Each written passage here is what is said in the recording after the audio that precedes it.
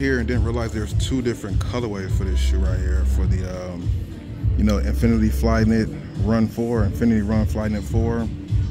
not too bad